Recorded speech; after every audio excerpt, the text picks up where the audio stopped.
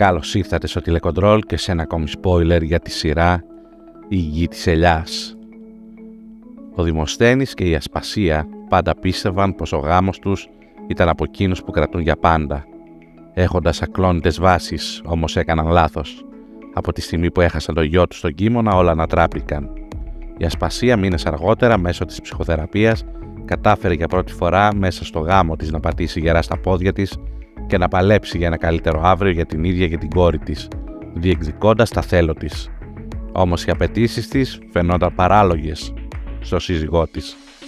Ο Δημοσθένης, όπως είδαμε, κάποια στιγμή εξεράγει και τη ζήτησε διαζύγιο εγκαταλείποντας τη συζητητή τους εστία.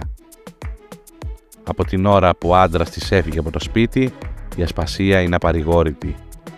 Βιώνει πολύ δύσκολες στιγμές και πονάει βαθιά καθώς έχασε το μοναδικό της στήριγμα και νιώθει τώρα πως η ζωή της γκρεμίστηκε. Διαλυμένη από το χωρισμό τους, πενθεί για το άδοξο τέλος του γάμου τους και δυστυχώς η κακή ψυχολογία της έχει αντίκτυπο και στη σωματική υγεία της. Συγκεκριμένα, μια μέρα η ασπασία εντελώς ξαφνικά αισθάνεται πόνου στην περιοχή της κοιλιακής της χώρας. Αρχικά δεν πανικοβάλλεται και δίνει χρόνο να περάσουν. Όμως η πόνη είναι οξύς και ασταμάτητη. Μάλιστα όσο κυλούν οι ώρες, η κατάστασή της χειροτερεύει και γι' αυτό αναγκάζεται να πάει άμεσα στο νοσοκομείο. Από την πρώτη στιγμή, δίπλα της βρίσκεται η μονάκριβη της κόρη, η οποία τρέμει και έχει αγωνία μη πάθει τίποτα η μητέρα της. Εκεί οι γιατροί αναλαμβάνουν και αφού την εξετάσουν διαπιστώνουν ότι τα πράγματα είναι αρκετά σοβαρά για την υγεία της. Η ασπασία πρέπει να χειρουργηθεί άμεσα καθώς υπάρχει πρόβλημα στη χολή της. Όταν οι γιατροί λένε στην Ειρήνη τι συμβαίνει με την υγεία της μητέρας της, εκείνη ενημερώνει άμεσα τον πατέρα της.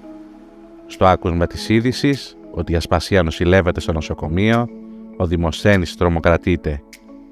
Χωρίς να χάνει χρόνο, βάζει στην άκρη τους εγωισμούς του και σπέφτει στο νοσοκομείο για να βρεθεί δίπλα στη γυναίκα του. Φτάνοντας εκεί, βλέπει και την αρετή, η οποία έχει πάει για συμπαράσταση στην Ειρήνη, που περνάει δύσκολες ώρες. Όλοι τους βιώνουν στιγμές έντασης και μεγάλης αγωνίας όσο η ασπασία βρίσκεται στο χειρουργικό κρεβάτι. Τότε για πρώτη φορά από το μυαλό του Δημοσθένη περνούν χίλιες σκέψεις και συνειδητοποιεί το πόσο πολύτιμη του ήταν η ασπασία. Οι ώρες κυλούν και ολοκληρώνεται η επέμβαση και ο Δημοσθένης παραμένει στο πλάι της και η στάση του αυτή συγκινεί ιδιαίτερα την ενδιαστάση σύζυγό του καθώς αντιλαμβάνεται ότι την νοιάζεται ακόμη.